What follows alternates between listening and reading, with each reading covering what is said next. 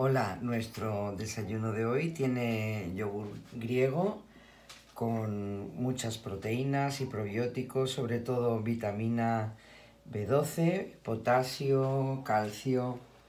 Vamos a añadirle mango. El mango eh, tiene, bueno, es una fruta que tiene bastante fibra y vitamina C, A y E, magnesio, potasio y favorece la asimilación de nutrientes.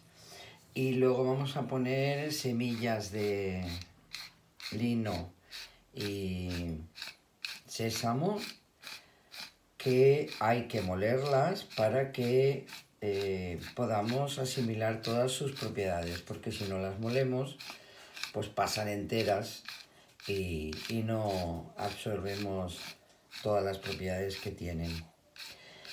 Este es un desayuno proteico, como todos nuestros desayunos. Las proteínas son necesarias para todo el mundo, especialmente para los que estamos en proceso de quimioterapia. Y bueno, pues eh, aquí lo dejamos. Buen provecho.